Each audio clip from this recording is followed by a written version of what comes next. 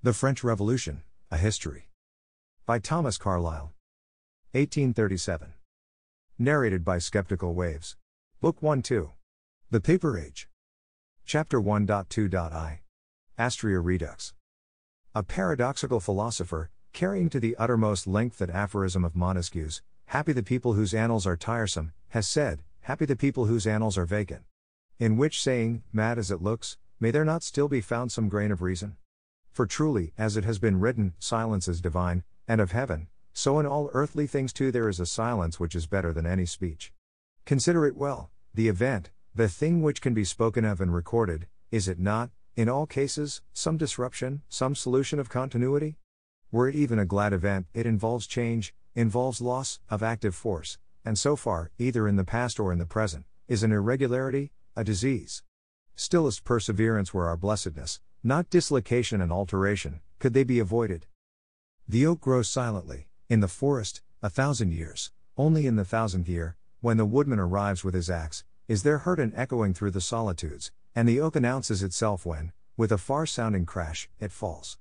How silent too was the planting of the acorn, scattered from the lap of some wandering wind. Nay, when our oak flowered, or put on its leaves, its glad events, what shout of proclamation could there be? Hardly from the most observant a word of recognition. These things befell not, they were slowly done, not in an hour, but through the flight of days, what was to be said of it? This hour seemed altogether as the last was, as the next would be. It is thus everywhere that foolish rumor babbles not of what was done, but of what was misdone or undone, and foolish history, ever, more or less, the written epitomized synopsis of rumor, knows so little that we're not as well unknown. Attila invasions, Walter the penniless crusades, Sicilian Vespers, Thirty Years' Wars, mere sin and misery, not work, but hindrance of work. For the earth, all this while, was yearly green and yellow with her kind harvests, the hand of the craftsman, the mind of the thinker rested not, and so, after all, and in spite of all, we have this so glorious high domed blossoming world, concerning which, poor history may well ask, with wonder, whence it came? She knows so little of it, knows so much of what obstructed it, what would have rendered it impossible. Such, nevertheless, by necessity or foolish choice, is her rule and practice, whereby that paradox, happy the people whose annals are vacant, is not without its true side. And yet, what seems more pertinent to note here, there is a stillness, not of unobstructed growth, but of passive inertness and symptom of imminent downfall. As victory is silent, so is defeat. Of the opposing forces, the weaker has resigned itself, the stronger marches on, noiseless now, but rapid, inevitable, the fall and overturn will not be noiseless. How all grows, and has its period, even as the herbs of the fields, be it annual, centennial, millennial. All grows and dies, each by its own wondrous laws, in wondrous fashion of its own, spiritual things most wondrously of all. Inscrutable, to the wisest, are these latter, not to be prophesied of, or understood. If when the oak stands proudliest flourishing to the eye, you know that its heart is sound, it is not so with the man, how much less with the society, with the nation of men. Of such it may be affirmed even that the superficial aspect, that the inward feeling of full health, is generally ominous. For indeed it is of apoplexy, so to speak, and a plethoric lazy habit of body, that churches, kingships, social institutions, oftenest die. Sad, when such institution plethorically says to itself, Take thy ease, Thou hast goods laid up, like the fool of the gospel, to whom it was answered, Fool, this night thy life shall be required of thee. Is it the healthy peace, or the ominous unhealthy, that rests on France for these next ten years? Over which the historian can pass lightly, without call to linger, for as yet events are not, much less performances. Time of sunniest stillness, shall we call it, what all men thought it, the new age of gold? Call it at least, of paper, which in many ways is the succedaneum of gold. Bank paper, wherewith you can still buy when there is no gold left, book paper, splendent with theories, philosophies, sensibilities, beautiful art, not only of revealing thought, but also of so beautifully hiding from us the one of thought. Paper is made from the rags of things that did once exist, there are endless excellences in paper. What wisest philosophe, in this halcyon uneventful period, could prophesy that there was approaching, big with darkness and confusion, the event of events? Hope ushers in a revolution, as earthquakes are preceded by bright weather. On the 5th of May, 15 years hence, old Louis will not be sending for the sacraments, but a new Louis, his grandson, with the whole pomp of astonished intoxicated France, will be opening the States General. Dubarrydom and its D'Aiguillons are gone forever. There is a young, still docile, well intentioned king, a young, beautiful and bountiful, well intentioned queen, and with them all France, as it were, become young. Maupeou and his Parlement have to vanish into thick night, respectable magistrates, not indifferent to the nation, were it only for having been opponents of the court, can descend unchained from their steep rocks at Croe and Cambrai elsewhere, and return singing praises, the old Parlement of Paris resumes its functions. Instead of a profligate bankrupt Abbe Terray, we have now, for Controller General, a virtuous philosophic Turgot, with a whole reformed France in his head. By whom whatsoever is wrong, in finance or otherwise, will be righted, as far as possible. Is it not as if wisdom herself were henceforth to have seat and voice in the Council of Kings? Turgot has taken office with the noblest plainness of speech to that effect, been listened to with the noblest royal trustfulness. It is true, as King Louis objects, they say he never goes to Mass, but liberal France likes him little worse for that. Liberal France answers, the Abbe Terray always went. Philosophism sees, for the first time, a philosophe, or even a philosopher, in office, she in all things will applausively second him, neither will light old Maurepas obstruct, if he can easily help it. Then how sweet are the manners, vice losing all its deformity, becoming decent, as established things, making regulations for themselves, do, becoming almost a kind of sweet virtue. Intelligence so abounds, irradiated by wit and the art of conversation. Philosophism sits joyful in her glittering saloons, the dinner guest of opulence grown ingenuous, the very nobles proud to sit by her, and preaches, lifted up over all Bastilles, a coming millennium.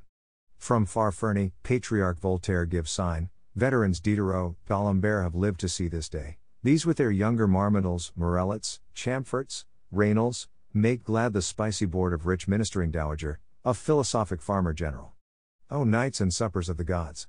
Of a truth, the long demonstrated will now be done, the age of revolutions approaches, as Jean Jacques wrote, but then of happy blessed ones. Man awakens from his long somnambulism, chases the phantasms that beleaguered and bewitched him. Behold the new morning glittering down the eastern steeps, fly, false phantasms, from its shafts of light, let the absurd fly utterly forsaking this lower earth forever. It is truth and astrea redux that, in the shape of philosophism, henceforth reign. For what imaginable purpose was man made, if not to be happy? By victorious analysis, and progress of the species, happiness enough now awaits him. Kings can become philosophers, or else philosophers kings. Let but society be once rightly constituted, by victorious analysis. The stomach that is empty shall be filled, the throat that is dry shall be wetted with wine. Labor itself shall be all one as rest, not grievous, but joyous. Wheatfields, one would think, cannot come to grow untilled, no man made clayey or made weary thereby, unless indeed machinery will do it. Gratuitous tailors and restaurateurs may start up, at fit intervals, one as yet sees not how. But if each will, according to rule of benevolence, have a care for all, then surely no one will be uncared for. Nay, who knows but, by sufficiently victorious analysis, human life may be indefinitely lengthened, and men get rid of death, as they have already done of the devil. We shall then be happy in spite of death and the devil. So preaches magniloquent philosophism her radiant Saturnia Regna. The prophetic song of Paris and its philosophes is audible enough in the Versailles Œil de Bœuf, and the Œil de Bœuf, intent chiefly on nearer blessedness, can answer, at worst, with a polite why not? Good old cheery Maurepas is too joyful a prime minister to dash the world's joy. Sufficient for the day be its own evil.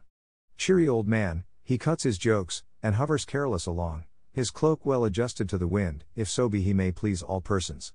The simple young king, whom a Maurepas cannot think of troubling with business, has retired into the interior apartments, taciturn, irresolute, though with a sharpness of temper at times, he, at length, determines on a little smithwork, and so, in apprenticeship with a Sieur Gamain, whom one day he shall have little cause to bless, is learning to make locks. It appears further, he understood geography, and could read English. Unhappy young king, his childlike trust in that foolish old Maurepas deserved another return. But friend and foe, destiny and himself have combined to do him hurt. Meanwhile, the fair young queen, in her halls of state, walks like a goddess of beauty, the cynosure of all eyes, as yet mingles not with affairs, heeds not the future, least of all dreads it. Weber and Campan have pictured her, there within the royal tapestries, in bright boudoirs, baths, peignoirs, and the grand and little toilette, with a whole brilliant world waiting obsequious on her glance, fair young daughter of time, what things has time in store for thee? Like earth's brightest appearance, she moves gracefully, environed with the grandeur of earth, a reality, and yet a magic vision, for, behold, shall not utter darkness swallow it. The soft young heart adopts orphans, portions meritorious maids, delights to succor the poor, such poor as come picturesquely in her way, and sets the fashion of doing it, for as was said, benevolence has now begun reigning. In her Duchess de Polignac, in Princess de Lamballe, she enjoys something almost like friendship, now too, after seven long years, she has a child, and soon even a dauphin, of her own, can reckon herself, as queens go, happy in a husband. Events? The grand events are but charitable feasts of morals, fetes d'amour, with their prizes and speeches, poissarde processions to the Dauphin's cradle, above all, flirtations, their rise, progress, decline, and fall. There are snow statues raised by the poor in hard winter to a queen who has given them fuel.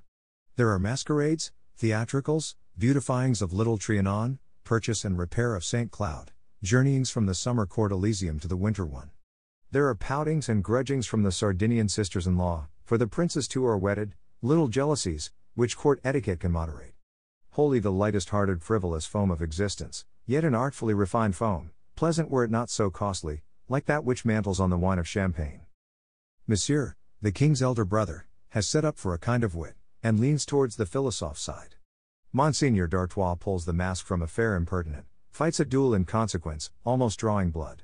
He has breeches of a kind new in this world, a fabulous kind, four tall lackeys, says Mercier, as if he had seen it, hold him up in the air, that he may fall into the garment without vestige of wrinkle, from which rigorous encasement the same four, in the same way, and with more effort, must deliver him at night. This last is he who now, as a great time worn man, sits desolate at Gratz, having winded up his destiny with the three days. In such sort are poor mortals swept and shoveled to and fro. Chapter 1.22 Petition in Hieroglyphs. With the working people, again, it is not so well. Unlucky. For there are 20 to 25 millions of them. Whom, however, we lump together into a kind of dim compendious unity, monstrous but dim, far off, as the canaille, or, more humanely, as the masses. Masses, indeed, and yet, singular to say, if, with an effort of imagination, thou follow them, over broad France, into their clay hovels, into their garrets and hutches, the masses consist all of units. Every unit of whom has his own heart and sorrows, stands covered there with his own skin, and if you prick him he will bleed. O purple sovereignty, holiness, reverence, thou, for example, Cardinal Grand Almoner, with thy plush covering of honor, who hast thy hands strengthened with dignities and monies, and art set on thy world watchtower solemnly, in sight of God, for such ends, what a thought, that every unit of these masses is a miraculous man, even as thyself art, struggling, with vision, or with blindness, for his infinite kingdom, this life which he has got, once only, in the middle of eternities, with a spark of the divinity, what thou callest an immortal soul, in him. Dreary, languid do these struggle in their obscure remoteness, their hearth cheerless, their diet thin. For them, in this world, rises no era of hope, hardly now in the other, if it be not hope in the gloomy rest of death, for their faith too is failing. Untaught, uncomforted, unfed. A dumb generation, their voice only an inarticulate cry, spokesman, in the king's council, in the world's forum, they have none that finds credence. At rare intervals, as now, in 1775, they will fling down their hoes and hammers, and, to the astonishment of thinking mankind, flock hither and thither, dangerous, aimless, get the length even of Versailles. Turgot is altering the corn trade, abrogating the absurdist corn laws, there is dearth, real, or were it even factitious, an indubitable scarcity of bread. And so, on the second day of May 1775, these waste multitudes do here, at Versailles Chateau, in widespread wretchedness, in sallow faces, squalor, winged raggedness, present, as in legible hieroglyphic writing, their petition of grievances. The chateau gates have to be shut. But the king will appear on the balcony, and speak to them. They have seen the king's face, their petition of grievances has been, if not read, looked at. For answer, two of them are hanged, on a new gallows 40 feet high, and the rest driven back to their dens, for a time. Clearly a difficult point for government, that of dealing with these masses, if indeed it be not rather the sole point and problem of government, and all other points mere accidental crotchets, superficialities, and beatings of the wind. For let charter chests, use, and want, Law common and special say what they will, the masses count to so many millions of units, made, to all appearance, by God, whose earth this is declared to be. Besides, the people are not without ferocity, they have sinews and indignation. Do but look what holiday old Marquis Mirabeau, the crabbed old friend of men, looked on, in these same years, from his lodging, at the baths of Mont d'Or, the savages descending in torrents from the mountains, our people ordered not to go out. The curate in surplice and stole, justice in its peruke, Marechaussee saber in hand, guarding the place, till the bagpipes can begin. The dance interrupted, in a quarter of an hour, by battle, the cries, the squealings of children, of infirm persons, and other assistants, tarring them on, as the rabble does when dogs fight, frightful men, or rather frightful wild animals, clad in jupes of coarse woolen, with large girdles of leather studded with copper nails, of gigantic stature, heightened by high wooden clogs, sabot, rising on tiptoe to see the fight, tramping time to it, rubbing their sides with their elbows, their faces haggard, figures halves, and covered with their long greasy hair, the upper part of the visage waxing pale, the lower distorting itself into the attempt at a cruel laugh and a sort of ferocious impatience. And these people pay the taille. And you want further to take their salt from them. And you know not what it is you are stripping bearer, or as you call it, governing, what by the spurt of your pen, in its cold dastard indifference, you will fancy you can starve always with impunity, always till the catastrophe come. Ah, madam, such government by blind man's buff, stumbling along too far, will end in the general overturn, culbute general. Undoubtedly a dark feature this in an age of gold, age, at least, of paper and hope. Meanwhile, trouble us not with thy prophecies, O croaking friend of men, tis long that we have heard such, and still the old world keeps wagging, in its old way. Chapter 1.23 Questionable. Or is this same age of hope itself but a simulacrum, as hope too often is? Cloud vapor with rainbows painted on it, beautiful to see, to sail towards, which hovers over Niagara Falls? In that case, victorious analysis will have enough to do. Alas, yes. A whole world to remake, if she could see it, work for another than she. For all is wrong, and gone out of joint, the inward spiritual, and the outward economical, head or heart, there is no soundness in it. As indeed, Evils of all sorts are more or less of kin, and do usually go together, especially it is an old truth, that wherever huge physical evil is, there, as the parent and origin of it, has moral evil to a proportionate extent been. Before those five and twenty laboring millions, for instance, could get that haggardness of face, which old Mirabeau now looks on, in a nation calling itself Christian, and calling man the brother of man, what unspeakable, nigh infinite dishonesty, of seeming and not being, in all manner of rulers, and appointed watchers, spiritual and temporal, must there not, through long ages, have gone on accumulating. It will accumulate, moreover, it will reach a head, for the first of all Gospels is this that a lie cannot endure forever. In fact, if we pierce through that rose pink vapor of sentimentalism, philanthropy, and feasts of morals, there lies behind it one of the sorriest spectacles. You might ask, what bonds that ever held a human society happily together, or held it together at all, are in force here? It is an unbelieving people which has suppositions, hypotheses, and froth systems of victorious analysis, and for belief this mainly, that pleasure is pleasant. Hunger they have for all sweet things, and the law of hunger, but what other law? Within them, or over them, properly none. Their king has become a king popinjay, with his Maurepas government, gyrating as the weathercock does, blown about by every wind. Above them they see no God, or they even do not look above, except with astronomical glasses. The church indeed still is, but in the most submissive state, quite tamed by philosophism, in a singularly short time, for the hour was come. Some twenty years ago, your Archbishop Beaumont would not even let the poor Jansenists get buried, your Loménie Brienne, a rising man, whom we shall meet with yet, could, in the name of the clergy, insist on having the anti Protestant laws, which condemn to death for preaching, put in execution. And, alas, now not so much as Baron Holbach's atheism can be burnt, except as pipe matches by the private speculative individual. Our church stands haltered, dumb, like a dumb ox, lowing only for provender, of tithes, content if it can have that, or, dumbly, dully expecting its further doom. And the twenty millions of haggard faces, and, as finger post and guidance to them in their dark struggle, a gallows forty feet high. Certainly a singular golden age, with its feasts of morals, its sweet manners, its sweet institutions, institutions douces, betokening nothing but peace among men. Peace? O philosoph sentimentalism, what hast thou to do with peace, when thy mother's name is Jezebel? Foul product of still fouler corruption, thou with the corruption art doomed. Meanwhile, it is singular how long the rotten will hold together, provided you do not handle it roughly.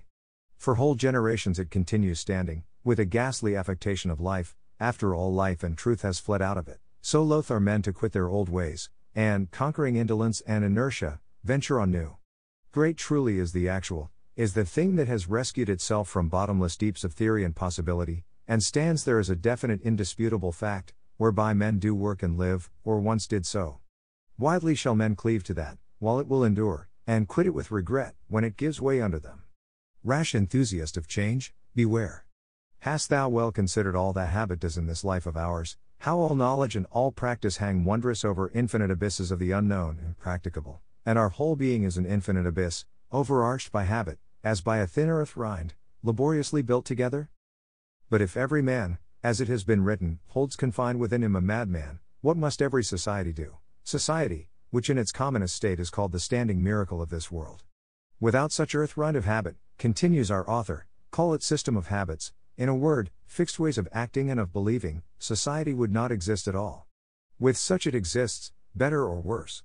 Hereinto, in this its system of habits, acquired, retained how you will, lies the true law code and constitution of a society, the only code, though an unwritten one which it can in no wise disobey. The thing we call written code, constitution, form of government, and the like, what is it but some miniature image, and solemnly expressed summary of this unwritten code? Is, or rather, alas, is not, but only should be, and always tends to be. In which latter discrepancy lies struggle without end. And now, we add in the same dialect, let but, by ill chance, in such ever enduring struggle, your thin earth rind be once broken.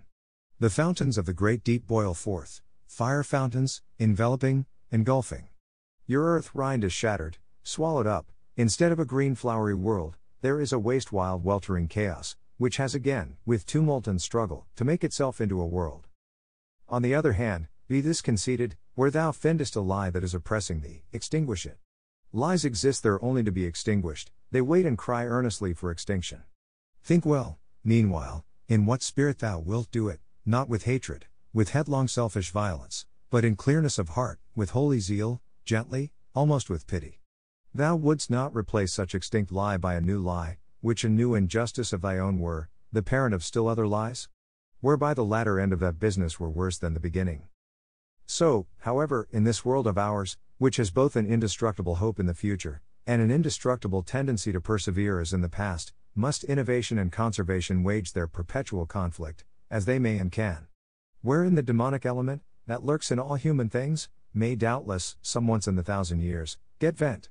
But indeed may we not regret that such conflict, which, after all, is but like that classical one of hate filled Amazons with heroic youths, and will end in embraces, should usually be so spasmodic? For conservation, strengthened by that mightiest quality in us, our indolence, sits for long ages, not victorious only, which she should be, but tyrannical, incommunicative. She holds her adversary as if annihilated, such adversary lying, all the while, like some buried Enceladus, who, to gain the smallest freedom, must stir a whole Trinacria with it Etnas. Wherefore, on the whole, we will honor a paper age too, an era of hope. For in this same frightful process of Enceladus revolt, when the task, on which no mortal would willingly enter, has become imperative, inevitable, is it not even a kindness of nature that she lures us forward by cheerful promises, fallacious or not, and a whole generation plunges into the Erebus blackness, lighted on by an era of hope? It has been well said man is based on hope, he has properly no other possession but hope. This habitation of his is named the place of hope. Chapter 1.24 Maurepas. But now, among French hopes, is not that of old M. De Maurepas one of the best grounded, who hopes that he, by dexterity, shall contrive to continue minister? Nimble old man, who for all emergencies has his light jest, and ever in the worst confusion will emerge, cork like, unsunk.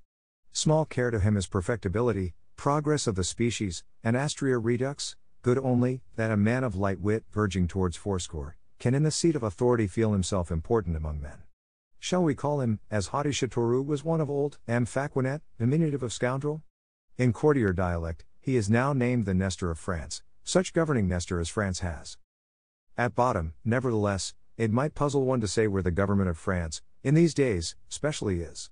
In that chateau of Versailles, we have Nestor, king, queen, ministers, and clerks, with paper bundles tied in tape, but the government? For government is a thing that governs, that guides, and if need be, compels. Visible in France there is not such a thing. Invisible, inorganic, on the other hand, there is, in philosophe saloons, in Œil de Bœuf galleries, in the tongue of the babbler, in the pen of the pamphleteer. Her Majesty appearing at the opera is applauded, she returns all radiant with joy.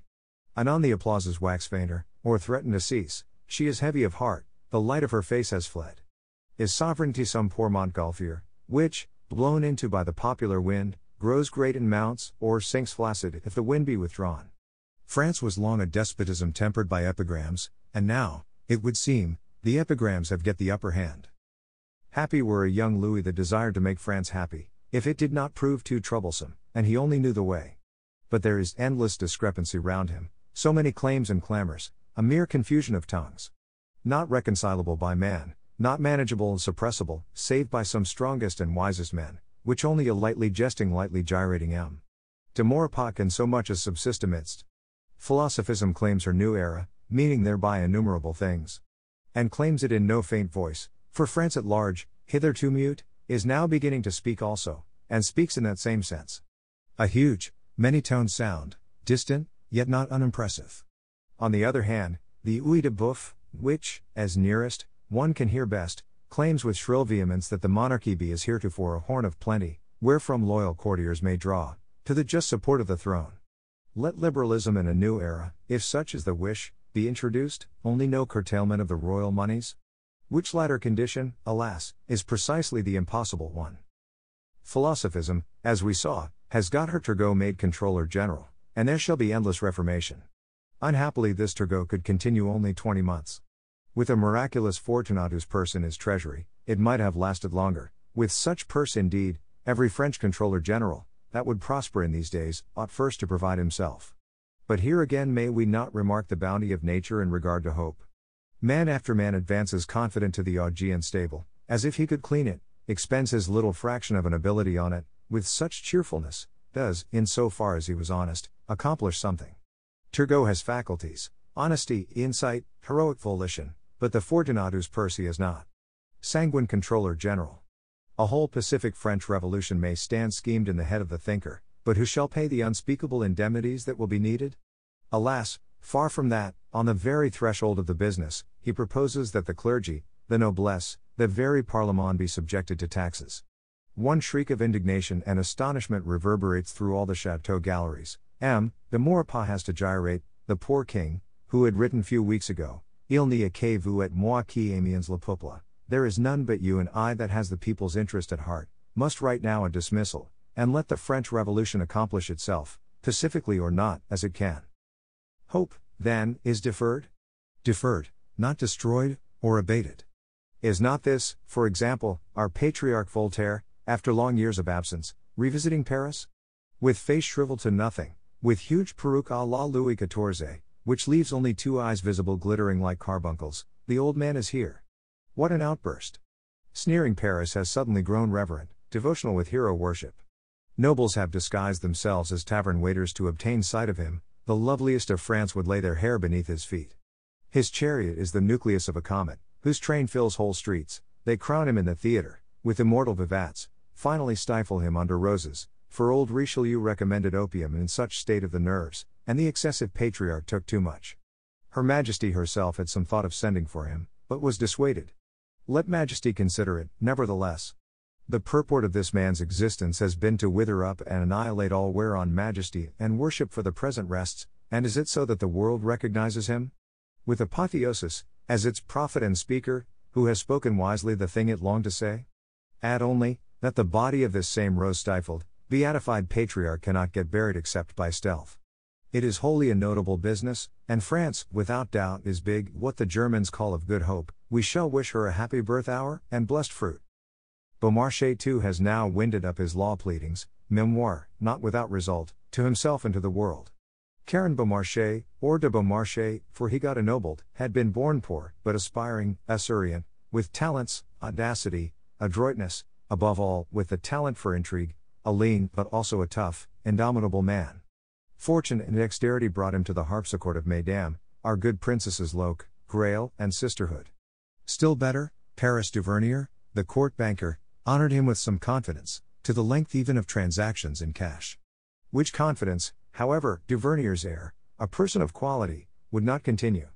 Quite otherwise, there springs a lawsuit from it, wherein tough Beaumarchais, losing both money and repute, is, in the opinion of Judge Reporter Goezman, of the Parlement Maupeou, of a whole indifferent acquiescing world, miserably beaten. In all men's opinions, only not in his own. Inspired by the indignation, which makes, if not verses, satirical law papers, the withered music master, with a desperate heroism, takes up his lost cause in spite of the world, fights for it, against reporters, parlement, and principalities, with light banter, with clear logic, adroitly, with an inexhaustible toughness and resource, like the skillfulest fencer, on whom, so skillful is he, the whole world now looks. Three long years it lasts, with wavering fortune. In fine, after labors comparable to the twelve of Hercules, our unconquerable Caron triumphs, regains his lawsuit and lawsuits, strips reporter Goezman of the judicial ermine, covering him with a perpetual garment of obloquy instead, and in regard to the Parlement Maupeou, which he has helped to extinguish, to Parlement of all kinds, and to French justice generally, gives rise to endless reflections in the minds of men. Thus as Beaumarchais, like a lean French Hercules, ventured down, driven by destiny, into the nether kingdoms, and victoriously tamed hell dogs there. He also is henceforth among the notabilities of his generation. Chapter 1.2.v Astrea Redux without cash. Observe, however, beyond the Atlantic, has not the new day verily dawned. Democracy, as we said, is born, Stormgirt is struggling for life and victory. A sympathetic France rejoices over the rights of man. In all saloons, it is said, what a spectacle. Now to behold our Deane, our Franklin, American plenipotentiaries, here in position soliciting. The sons of the Saxon Puritans, with their old Saxon temper, old Hebrew culture, sleek Silas, sleek Benjamin, here on such errand, among the light children of heathenism, monarchy, sentimentalism, and the scarlet woman. A spectacle indeed, over which saloons may cackle joyous, though Kaiser Joseph, questioned on it, gave this answer, most unexpected from a philosophe Madam, the trade I live by is that of royalist, mon métier à moi c'est d'être royaliste. So thinks light too, but the wind of philosophism and force of public opinion will blow him round. Best wishes, meanwhile, are sent, clandestine privateers armed. Paul Jones shall equip his bonhomme Richard, weapons, military stores can be smuggled over, if the English do not seize them, wherein, once more Beaumarchais, dimly as the giant smuggler becomes visible, filling his own lank pocket withal. But surely, in any case, France should have a navy. For which great object were not now the time, now when that proud termagant of the seas has her hands full? It is true, an impoverished treasury cannot build ships, but the hint once given, which Beaumarchais says he gave, this and the other loyal seaport, Chamber of Commerce, will build and offer them. Goodly vessels bound into the waters, of Ville de Paris, Leviathan of ships. And now, when gratuitous three deckers dance there at anchor, with streamers flying, and eleutheromaniac philosophedom grows ever more clamorous, what can a Maurepas do but gyrate? Squadrons cross the ocean, Gateses, lees, rough Yankee generals, with woolen nightcaps under their hats, present arms to the far glancing chivalry of France, and newborn democracy sees, not without amazement, despotism tempered by epigrams fight at her side. So, however, it is. King's forces and heroic volunteers, Rochambeaus, Bouillés, Lameths, Lafayettes, have drawn their swords in this sacred quarrel of mankind, shall draw them again elsewhere, in the strangest way. Off Ushant some naval thunder is heard. In the course of which did our young prince, Duke de Chartres, hide in the hold, or did he materially, by active heroism, contribute to the victory? Alas, by a second edition, we learn that there was no victory, or that English Keppel had it.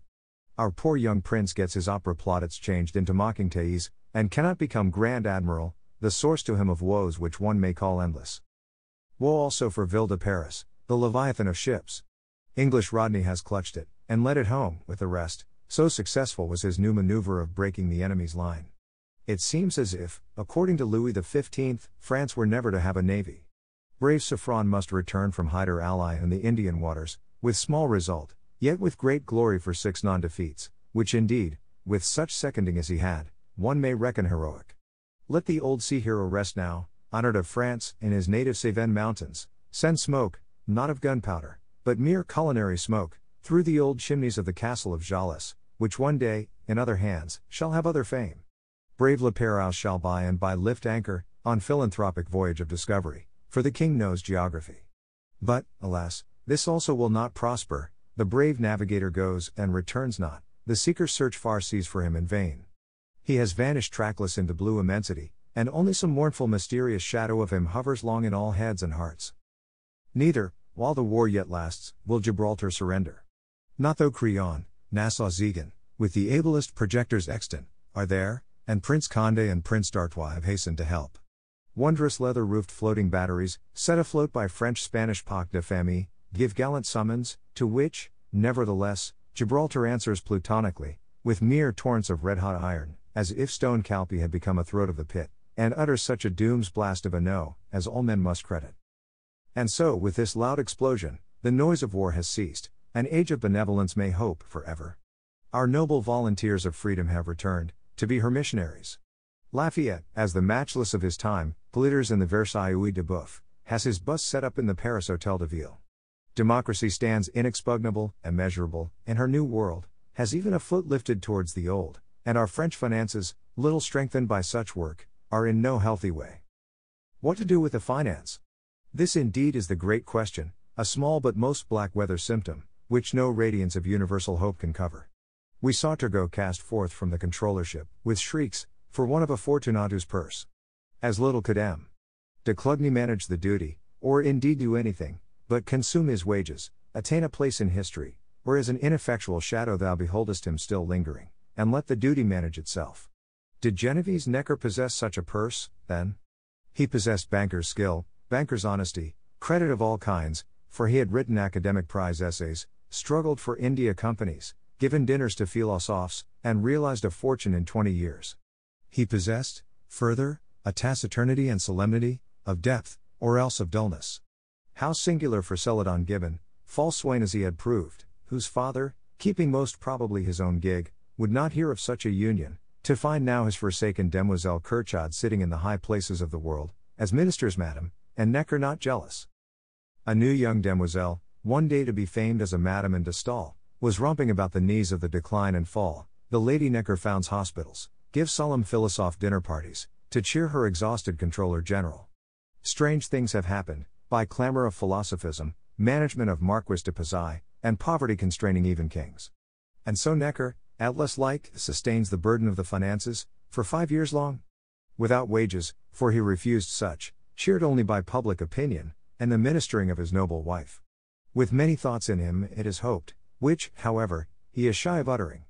His Compte Rendu, published by the royal permission, fresh sign of a new era, shows wonders, which what but the genius of some Atlas Necker can prevent from becoming portents? In Necker's head too there is a whole Pacific French Revolution, of its kind, and in that taciturn dull depth, or deep dullness ambition enough. Meanwhile, alas, his Fortunatus purse turns out to be little other than the old vectigal of parsimony. Nay, he too has to produce his scheme of taxing, clergy, noblesse to be taxed, provincial assemblies, and the rest, like a mere Turgot. The expiring M.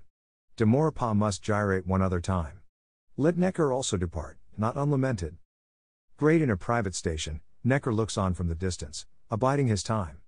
80,000 copies of his new book, which he calls Administration des Finances, will be sold in few days. He is gone, but shall return, and that more than once, borne by a whole shouting nation. Singular Controller General of the Finances, once clerk in Thelusson's bank. Chapter 1.2.vi. Windbags. So marches the world, in this its paper age, or era of hope. Not without obstructions, war explosions, which, however, heard from such distance, are little other than a cheerful marching music. If indeed that dark living chaos of ignorance and hunger, five and twenty million strong, under your feet, were to begin playing. For the present, however, consider Longchamp, now when Lent is ending, and the glory of Paris and France has gone forth, as in annual wont. Not to assist at Tenebrae masses, but to sun itself and show itself, and salute the young spring.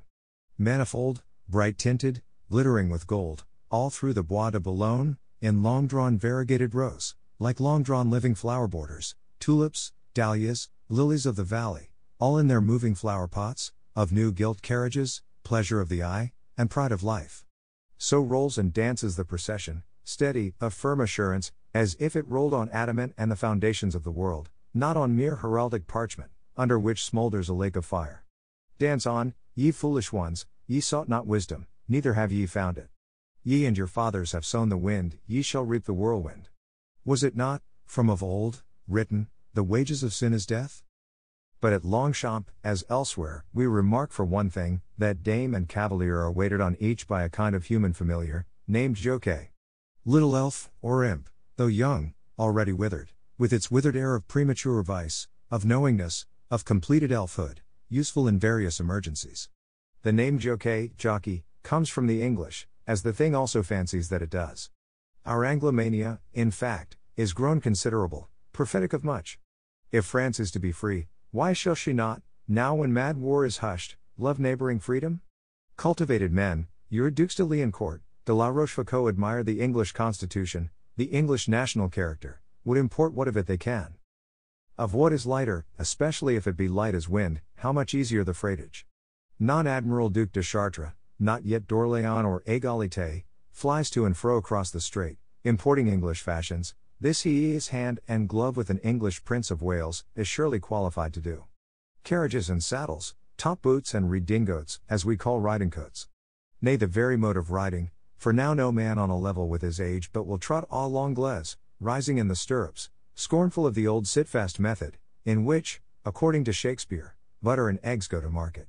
Also, he can urge the fervid wheels, this brave Chartres of ours, no whip in Paris is rasher and surer than the unprofessional one of Monseigneur.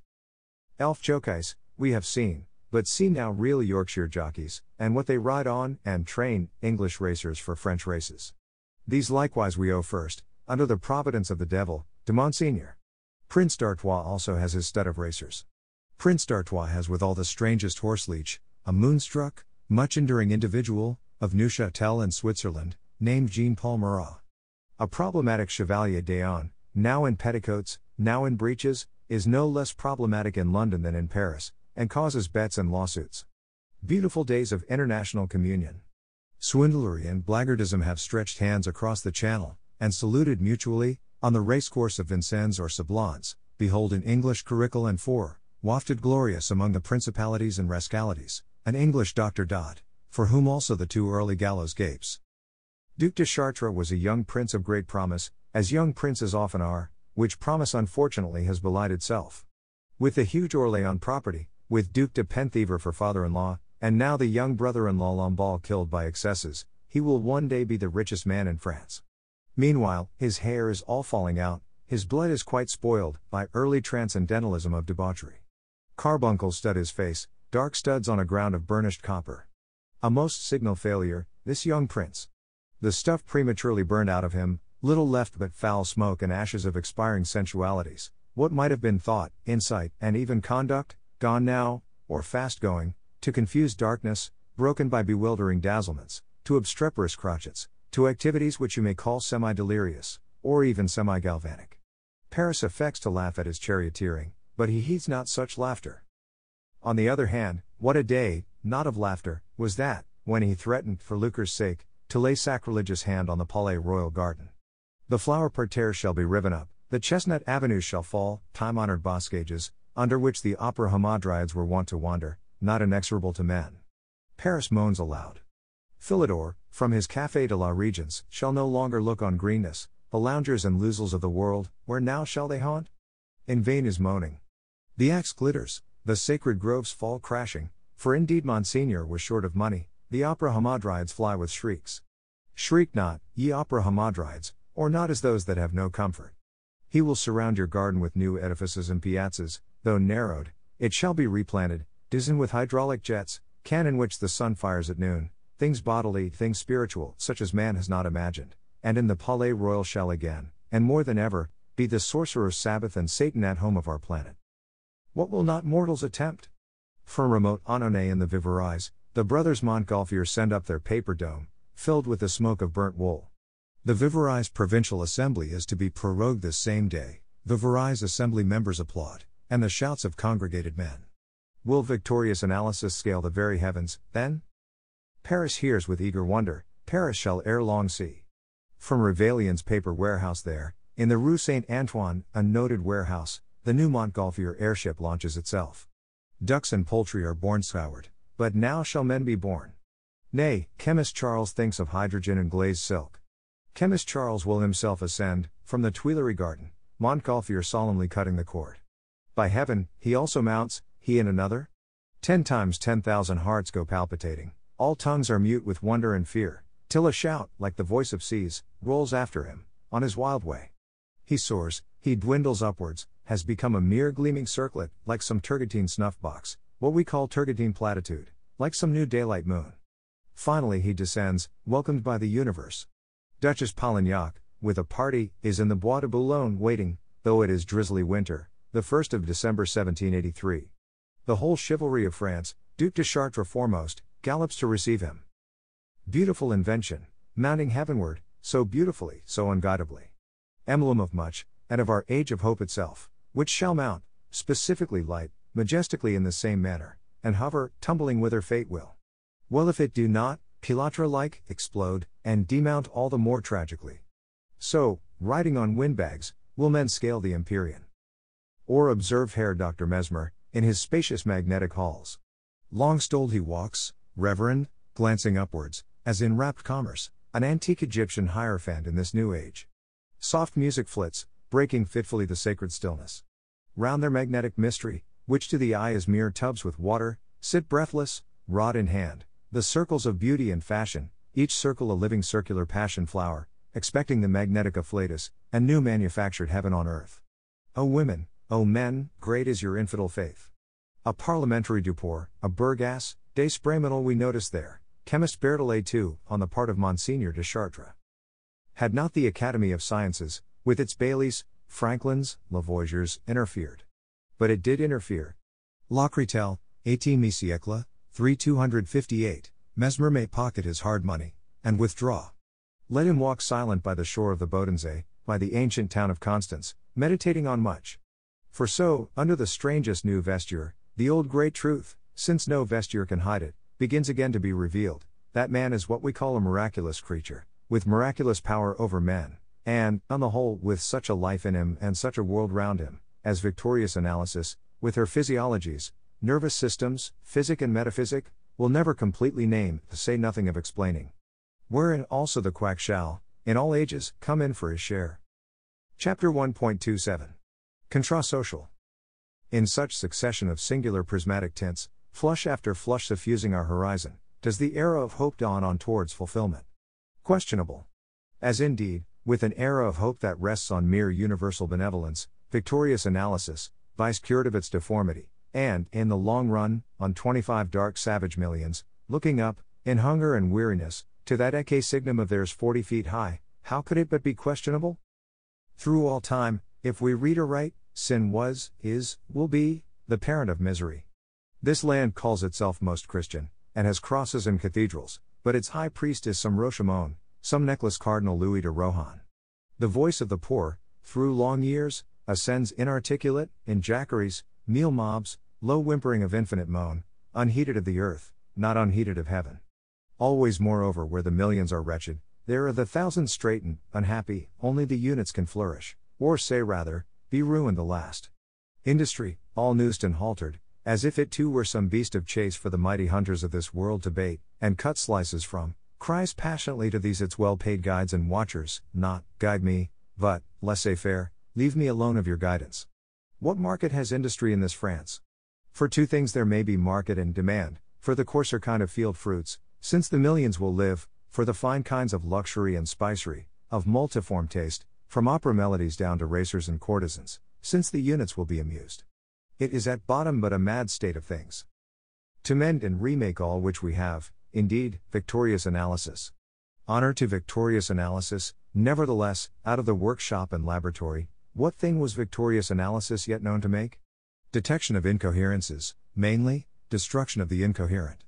From of old, doubt was but half a magician, she evokes the spectres which she cannot quell. We shall have endless vortices of froth logic, whereon first words, and then things, are whirled and swallowed. Remark, accordingly, as acknowledged grounds of hope, at bottom mere precursors of despair, this perpetual theorizing about man, the mind of man, philosophy of government, progress of the species and such like, the main thinking furniture of every head.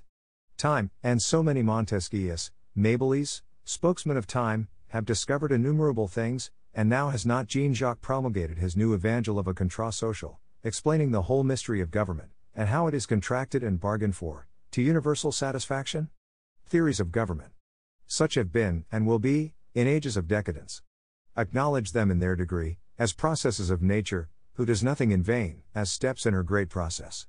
Meanwhile, What theory is so certain as this, that all theories, were they never so earnest, painfully elaborated, are, and, by the very conditions of them, must be incomplete, questionable, and even false? Thou shalt know that this universe is, what it professes to be, an infinite one. Attempt not to swallow it, for thy logical digestion. Be thankful, if skillfully planning down this and the other fixed pillar in the chaos, thou prevent it swallowing thee. That a new young generation has exchanged the skeptic creed, what shall I believe? For passionate faith in this gospel according to Jean Jacques is a further step in the business, and betokens much. Blessed also is hope, and always from the beginning there was some millennium prophesied, millennium of holiness, but, what is notable, never till this new era, any millennium of mere ease and plentiful supply. In such prophesied Lubberland, of happiness, benevolence, and vice cured of its deformity, trust not, my friends. Man is not what one calls a happy animal, his appetite for sweet victual is so enormous. How, in this wild universe, which storms in on him infinite, vague menacing, shall poor man find, say not happiness, but existence and footing to stand on, if it be not by girding himself together for continual endeavor and endurance? Woe, if in his heart there dwelt no devout faith, if the word duty had lost its meaning for him. For as to this of sentimentalism, so useful for weeping with over romances and on pathetic occasions, it otherwise verily will avail nothing, nay less. The healthy heart that said to itself, how healthy am I? Was already fallen into the fatalist sort of disease. Is not sentimentalism twin sister to Cant, if not one and the same with it? Is not Cant the materia prima of the devil, from which all falsehoods, imbecilities, abominations body themselves, from which no true thing can come? For Cant is itself properly a double distilled lie, the second power of a lie. And now, if a whole nation fall into that? In such case, I answer, infallibly they will return out of it. For life is no cunningly devised deception or self deception, it is a great truth that thou art alive, that thou hast desires, necessities, neither can these subsist and satisfy themselves on delusions, but on fact. To fact, depend on it, we shall come back, to such fact, blessed or cursed, as we have wisdom for. The lowest, least blessed fact one knows of, on which necessitous mortals have ever based themselves, seems to be the primitive one of cannibalism, that I can devour thee. What if such primitive fact were precisely the one we had, with our improved methods, to revert to, and begin anew from? Chapter 1.28 Printed Paper. In such a practical France, let the theory of perfectibility say what it will, discontents cannot be wanting, your promised reformation is so indispensable, yet it comes not. Who will begin it, with himself? Discontent with what is around us, still more with what is above us, goes on increasing, seeking ever new vents. Of street ballads, of epigrams that from of old tempered despotism, we need not speak. Nor of manuscript newspapers, Nouvelle à la main, do we speak. Bachaumont and his journeymen and followers may close those thirty volumes of scurrilous eavesdropping, and quit that trade, for at length, if not liberty of the press, there is license. Pamphlets can be surreptitiously vended and read in Paris, did they even bear to be printed at Pekin? We have a Courrier de l'Europe in those years, regularly published at London, by a de Morande, whom the guillotine has not yet devoured. There too an unruly Linguet, still unguillotined, when his own country has become too hot for him, and his brother advocates have cast him out, can emit his hoarse wailings, and Bastille dévoilée, Bastille unveiled. Loquacious Abbe Raynal, at length, has his wish, sees the Histoire philosophique, with its lubricity, unveracity, loose loud eleutheromaniac rant, contributed, they say, by Philosophedom at large, though in the Abbe's name, and to his glory, burnt by the common hangman and sets out on his travels as a martyr. It was the edition of 1781, perhaps the last notable book that had such fire beatitude, the hangman discovering now that it did not serve. Again, in courts of law, with their money quarrels, divorce cases, wheresoever a glimpse into the household existence can be had, what indications? The Parlement of Besançon and Aix ring, audible to all France, with the amours and destinies of a young Mirabeau. He, under the nurture of a friend of men, has, in state prisons, in marching regiments, Dutch authors' garrets, and quite other scenes, been for 20 years learning to resist despotism, despotism of men, and alas also of gods. How, beneath this rose colored veil of universal benevolence and Astrea redux, is the sanctuary of home so often a dreary void, or a dark contentious hell on earth? The old friend of men has his own divorce case too, and at times, his whole family but one under lock and key. He writes much about reforming and enfranchising the world, and for his own private behoof he has needed 60 lettres de cachet. A man of insight too, with resolution, even with manful principle, but in such an element, inward and outward, which he could not rule, but only madden. Audacity, rapacity, quite contrary to the finer sensibilities of the heart. Fools, that expect your verdant millennium, and nothing but love and abundance, brooks running wine, winds whispering music, with the whole ground and basis of your existence champed into a mud of sensuality, which, daily growing deeper, will soon have no bottom but the abyss. Or consider that unutterable business of the diamond necklace. Red hatted Cardinal Louis de Rohan, Sicilian jailbird Balsamo Cagliostro, milliner Dame de Lamotte, with a face of some piquancy, the highest church dignitaries waltzing, in Walpurgis dance, with quack prophets, pick purses and public women, a whole Satan's invisible world displayed, working there continually under the daylight visible one, the smoke of its torment going up forever. The throne has been brought into scandalous collision with the treadmill.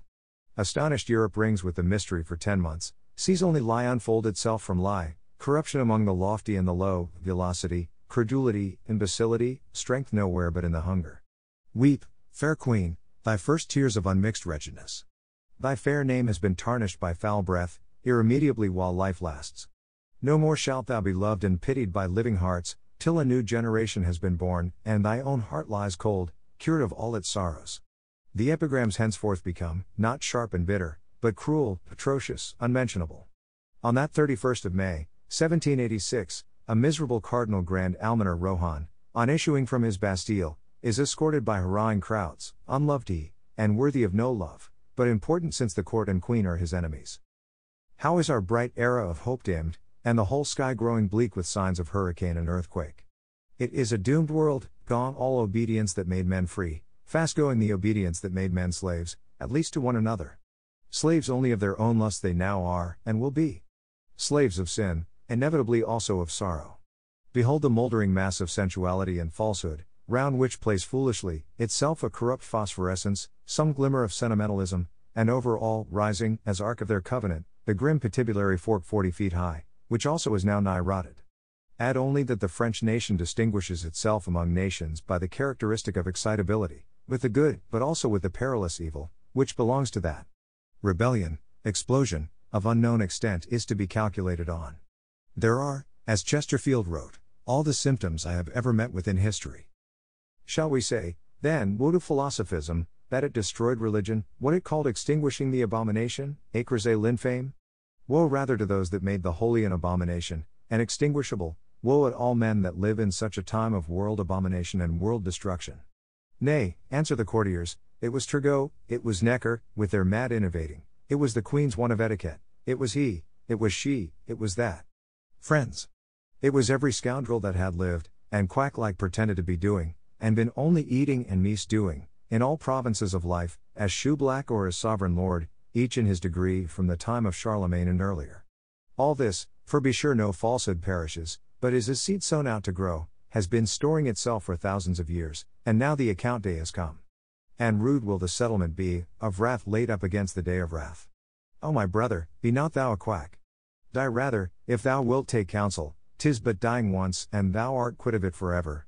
Cursed is that trade, and bears curses, thou knowest not how, long ages after thou art departed, and the wages thou hadst are all consumed, nay, as the ancient wise have written, through eternity itself, and is verily marked in the doom book of a God.